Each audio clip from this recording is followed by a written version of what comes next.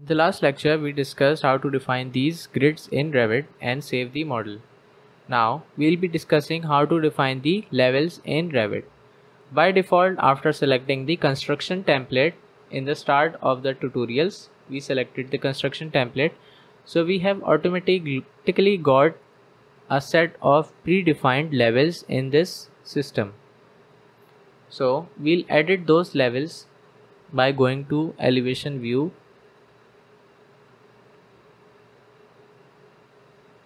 now you can see a list of grids elevation already present. Now we have to define the elevation as shown in the figure. First we have ngl then level 1 then roof. And their respective elevations are shown. So let's start with ngl first we have to delete the predefined default levels in Revit. I'll be starting with 0 feet 0 inches.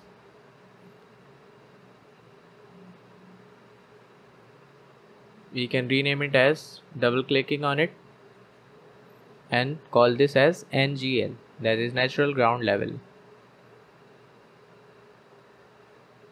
Similarly our level 1 is at 8 feet 0 inches. and click outside and similarly the roof is at 17 feet 6 inches. You can press enter or click outside. You can also add, edit the name of the level but since level 1 is already named in the view so we have to first delete the level 1 named view as it is causing a duplication so we have to delete this default level 1 and now we can rename it as level 1 since it is again coming in use so the level 1 must be defined in somewhere else. And yes it was defined. So I have deleted the level 1 view again. And now we have defined the level 1 as per our requirement. You can adjust the bubble location and lock it in the view. By this way, you can adjust the visibility of the level IDs. And similarly, you can stretch or expand the level icons or notations far away from the grids or near the grids. Similarly, if I adjust one of the level lines, then the rest of the level lines are automatically adjusted based on the one of the adjusted level lines. You can also change the scale of the view from here. In a similar manner, we change the scale of grids.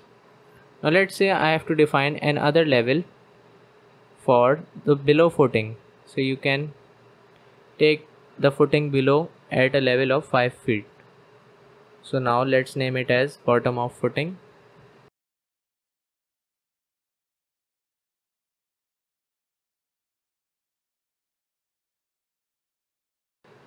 since the text is quite large so we can make it small by selecting the scale smaller in the view. You can also press the Z button or zigzag icon to unlock the location. You can also make the bubble available in the view on both ends. By selecting the tick mark option so you can see the location of the level on both the ends. You can also see the levels in the 3D view. You can notice that at one end we are seeing the levels highly extended while at the other end we are seeing the level quite shrinked. Let's adjust them in the west elevation to make them look normal and identical in both. That is how we adjusted the level grid marks. Now you can go to a level by selecting in the 3D view and click on go to floor plan. Similarly, let's say I have to go to NGL. So I selected the NGL level and right click on the window and click on go to floor plan. you can also adjust the floor plan scale for a particular level like clicking on the working window and let's make it quarter inches. Now you can see the grid marks look quite appealing. That is how we define Revit levels in a project. Now you can also add the views if not available in the view templates.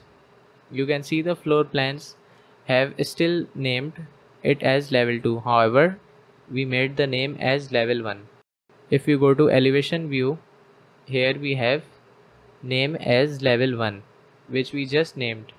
And go to floor plan we see the name as level 2 so you can rename it as level 1 since we changed its name to level 1 in elevation view.